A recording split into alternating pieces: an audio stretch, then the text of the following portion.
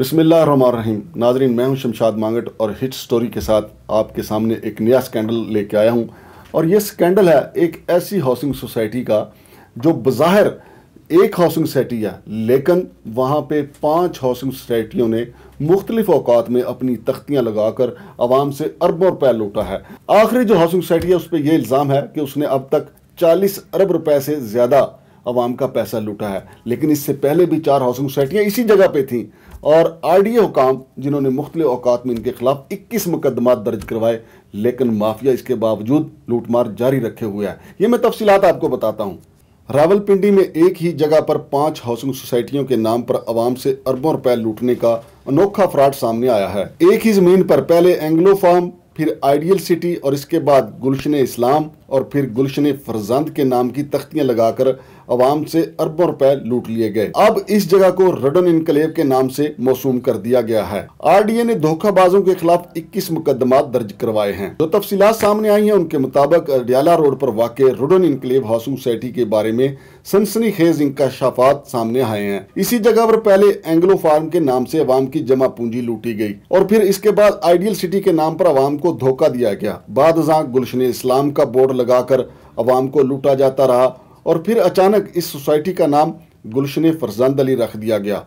RDA ने इस बदयांती और धोखे पर राजा अशफाक साजिद कुरैशी, राजा अबूजर राजा शमश वगैरह के खिलाफ सत्रह मुकदमा दर्ज करवाए, जिनमें मुलजमान ने जमानतें करवा ली। बाद ये जगह सऊदिया पल्ट सिविल इंजीनियर रहीमुद्दीन के स्पुर्द कर दी गई और अब इस ग्रुप ने मुख्तलिफ़ शहरों में इसकी फाइलें फरोख्त करके तकरीबन 40 अरब रुपए अवाम की जेबों से निकाल लिए हैं और सोसाइटी का नाम रुडन इनकलेव रखा गया है। आरडीए ने इस हवाले से रहीमुद्दीन और रुडन इनकलेव के दीगर अफराद के खिलाफ चार मुकदमा दर्ज करवाए हैं और इनका साइट ऑफ़िस भी गिरा दिया गया, मगर उन्होंने ज़बरदस्ती ताकत के ज़ोर पर यह साइट ऑफ़िस दोबारा तामीर कर लिया।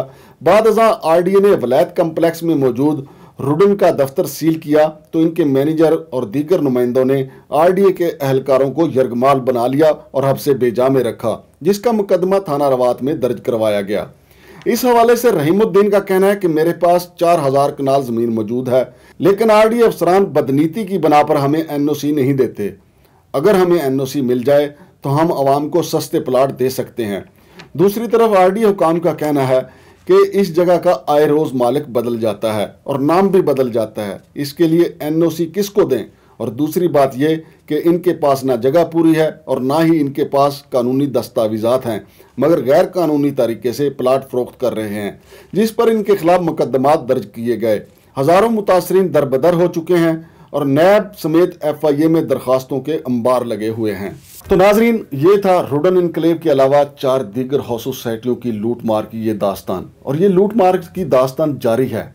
अब रियाती इदारे इतने बोधे इतने कमज़ोर हैं, आप इससे अंदाज़ा लगाएँ कि रावलपिंडी डेवलपमेंट अथॉरिटी इनके खिलाफ 21 मुकदमा दर्ज करवा चुकी है। लेकिन मुलजमान टस से मस होने के लिए तैयार नहीं, बल्कि एक के बाद दूसरा, दूसरे के बाद तीसरा, तीसरे के बाद चौथा, चौथे के बाद अब पांचवा फ्रॉड जारी है और आवाम की जेबों से पैसे निकाले जा रहे हैं। अवाम, जिनको सबसे पहले प्लाट अलाट हुआ, वो वहाँ जाते हैं। तो दूसरी सोसाइटी का नाम, उस वो वाले वहाँ जाते हैं तो तीसरी सोसाइटी का नाम, तीसरे वाले वहाँ जाते हैं तो चौथी सोसाइटी का नाम, और अब चौथी वाले जाते हैं तो वहाँ रडन इनकलेव रहीमुद्दीन साहब बैठे हुए हैं। और उन्होंने ऐसे लोगों की खिदमत हासिल कर रखी हैं, जो लोगों को डराते धमकाते भी हैं, जो उनको धमकियाँ भी लगाते हैं। हालाँकि ये सरकारी तौर पे आरडीए हुकाम का ये मौक़ है कि इनके पास ना जगह है, ना कोई कानूनी इनकी हैसियत है। अभी हाल ही में इन्होंने जो इनके साथ खसाला डैम मौजूद है, उस पर कब्जा जमाने की कोशिश की थी, लेकिन हमारी निशानदेही के बाद इनके हट्स वहाँ से हटा दिए गए और नए डीजी जो अब्दुस्तार सानी हैं, उन्होंने इनके खिलाफ क्रैकडाउन भी किया था। लेकिन अब रमज़ान मुबारक और कोरोना की वजह से आरडीए हुकाम खामोश दिखाई देते हैं, चूँकि रोज़े के साथ कार्रवाई करना मुश्किल लगती है, लेकिन रोज़ा रख के ये रुडन इनकलेव के रहीमुद्दीन जो बारेश आदमी है, अगर आप इनको देखें तो आप कहेंगे कि इतना मोतबर आदमी तो करप्शन कर ही नहीं सकता। लेकिन ये हकीकत है, ये सच है, ये फाइलें बता रही हैं, ये आरडीए के मुकदमात बता रहे हैं कि वहाँ करप्शन का एक समंदर है। और इनको कई ठगों की सपोर्ट हासिल है और ये ठग मिलजुल के सब कुछ लूट मार कर रहे हैं। ये थी आज की कहानी। इन आइंदा मजीद फॉलो अप के साथ मिलेंगे कि रोडन इनकलेव अब लोगों की जेबों से पैसे निकालने के लिए क्या क्या जतन कर रही है वलैत कम्प्लेक्स में इनके कितने दफातर हैं, ये सारी तफसीलात आपको बताएँगे और कौन कौन सा ठग इनकी झोली में बैठकर लोगों को धमकियाँ देता है और कौन कौन सा ठग इनके साथ मिलकर ये तासर देता है कि ये किसी बड़े सरकारी इदारे की हाउसिंग सोसाइटी है। शमशाद मांगड़ को इजाज़त दीजिए, अल्लाह हाफिज़।